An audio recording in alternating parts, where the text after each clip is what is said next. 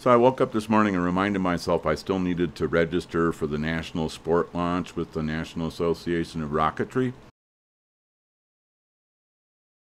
The event, of course, is sponsored by National Association of Rocketry and also Rocketry Organization of California.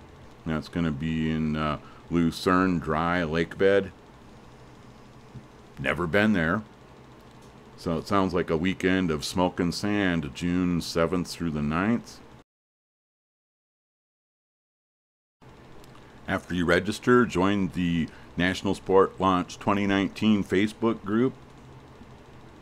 And there's discount registration available through Sunday, May 12th at $25 for NAR members. It goes up to $45 for NAR members.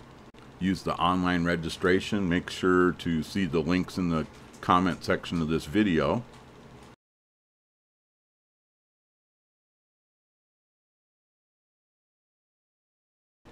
I was working with this rocket the other day for one of my other videos, and I realized that while I thought I would never fly it, I realized that it's entirely finished and all I have to do is assemble a recovery harness, install a parachute, and put in some sort of motor retention.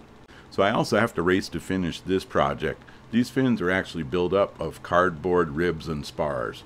There are a couple of dowel rods running through the middle for stiffness and to assist with mounting them to the rocket.